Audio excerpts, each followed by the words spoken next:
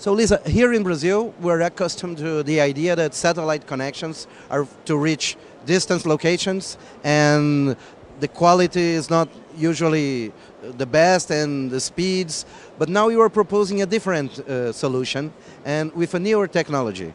Why is it possible and how? So satellite technology has taken great leaps in recent years, and especially with SGDC, which is the new satellite launched by Telebrás.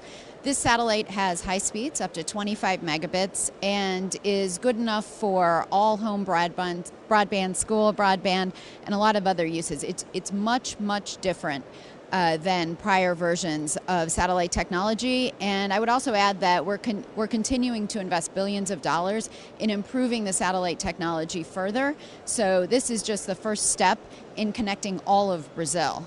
So one of the things that's important to know is this is not just for people that have absolutely nothing, it, because it's an excellent service. However, our first priority is to connect the, the schools, the hospitals, and other places in Brazil that do not have any connectivity right now. What you mean is that it's not just for this kind of public, it also can be a solution for uh, enterprises and even cities. Is that correct? That's correct. And one of the things that we're that is super important to us to do is to launch something called community Wi-Fi. Community Wi-Fi can be put in coffee shops and town plazas and many other places where towns do not have good connectivity. It can support cell service, so if you've got a cell phone you can connect to the Wi-Fi, but it can also connect things like children doing their homework online. And this can support dozens and dozens of users simultaneously, if not hundreds, and is as good as home as broadband you would get in your home in the cities. And Viasat also develops its own technology, so I, I believe this, it also has some influence in the final prices you're offering? Uh, that's absolutely right, that we will have control over the end user pricing and we want to make sure it's fair and that people can afford it and that they enjoy high quality internet. The other thing that's really different about Viasat is we're the only company in the world that actually does everything from build the satellite to deliver the service to the end user.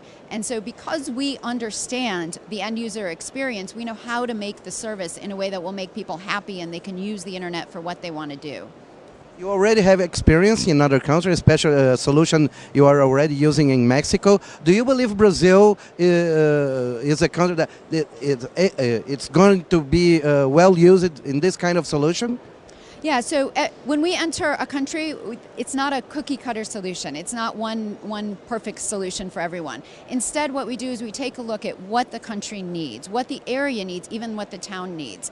So as we go out to Brazil, we'll analyze each area separately. So in some, in some areas, we will have schools and hospitals that need, uh, that need broadband. And I'll, I'll just note that that only over half of Brazilian rural schools do not have internet connectivity.